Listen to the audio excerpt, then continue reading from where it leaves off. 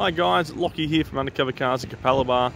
Wanted to bring you another walk around video today. We've got a few new cars here in stock. We've been moving a few and uh, got a few new ones in. So going to get a few walk around videos done for you guys so you can get a better idea of uh, what they're all about.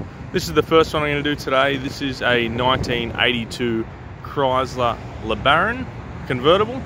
Uh, this is a Mark Cross limited edition, designer edition car. It's got all the Mark Cross trim and all that sort of stuff. Mark Cross was a designer um, of handbags and fashion accessories, I guess, in the uh, early 80s in the US and quite well known. Um, a lot of car makers did sort of designer edition cars. Lincoln did some uh, with Cartier and Bill Blass and a few other people, and uh, Chrysler were on the bandwagon there. So just walk around this car, beautiful car, low mileage car.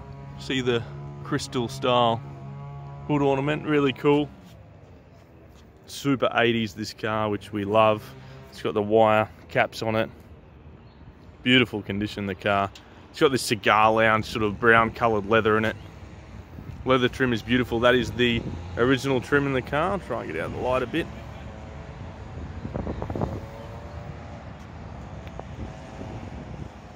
You can see the uh, might be able to see the embroidery here.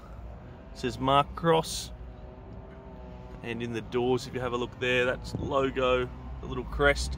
That's a Mark Cross thing. Part of the limited edition package. Wood grain. You know pretty luxurious interior for its era. Everything works on the car. The car features power windows. It's got a full power top. The top's all new. It's got a beautiful white top on it and clear window. Um, air conditioning in the car. Power steering power disc brakes automatic transmission See the gauges. We believe this mileage is correct to the car, showing 54,478. All the original stereo works. Uh, heater and aircon both work in cold. Beautiful cover on the top here in the same colour. See pinstripe down the side. Again, the wheel covers with thin white walls as they would have been stock. Across the back,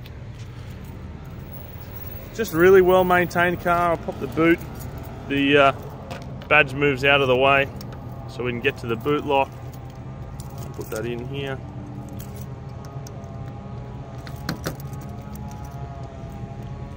Put the key the right way up, it'll probably help. So you can see in here is very tidy. Still got the instructions here of how to take the hubcaps off and you know putting stuff in the boot and the jack and all that sort of gear. All in here is beautifully carpeted. You got your jack and spare tyre there where they should be. You know, all nicely finished. Also got a full history file on the car and an owner's manual. Close that up.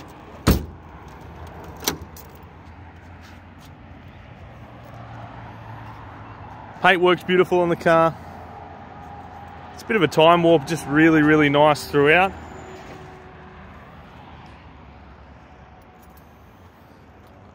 Now another interesting thing about this car is that they run a four cylinder motor. So a lot of the Americans um, in this period had big motors. Sort of the 80s was when they started to scale back a bit, worried about fuel economy and emissions and things like that.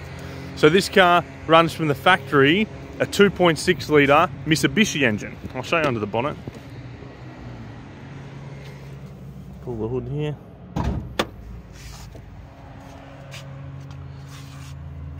See, it's all beautiful in here.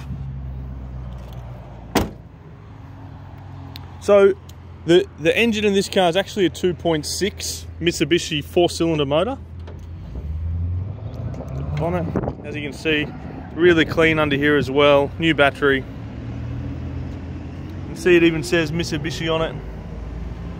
So this is the same 2.6 we would have seen locally in a Magna here. Uh, very common engine here, very reliable motor. Uh, obviously fuel efficient compared to some of the bigger cars from America. Um, you know, great little motor. And the bonus is that a lot of the parts are available locally if you have any issues with the car down the track. So bit of a bonus having that.